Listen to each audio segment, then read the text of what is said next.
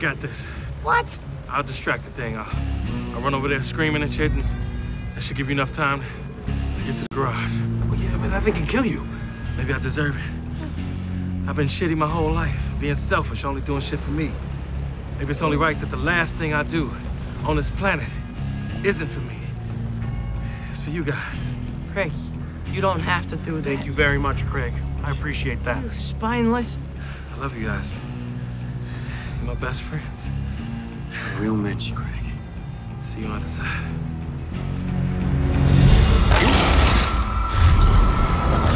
Hey! Hey, hands on! Hey, come on! Nickel dick, you motherfucking motherfucker! Nobody scared of you, being a raccoon? Yeah, free your ass, bitch! Nobody scared of you? I'm Craig fucking Robinson! Yeah!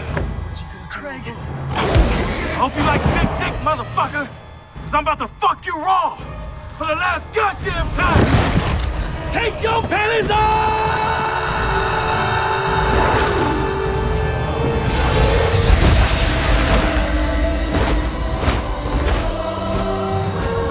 Fuck yeah! What's happening? Drive! Drive!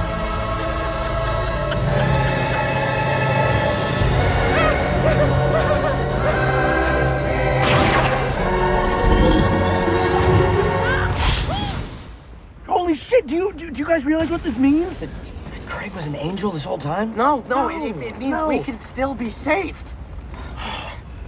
Fucking get it. Why does why does Craig get saved? I mean, Craig sacrificed himself for us, which means that there's still hope. That means we can be redeemed. It means that if we're actually nice to each other, we can get sucked up into heaven too. That's the deal. all right, I got it. Let's let's just head out to my my place in Malibu. Yeah. Just survive long enough until we do enough good things and they accumulate, or do enough sacrifices, and we'll all go to heaven together. That's a great idea, James. Seriously, really, really good idea. Really, you're such a smart guy.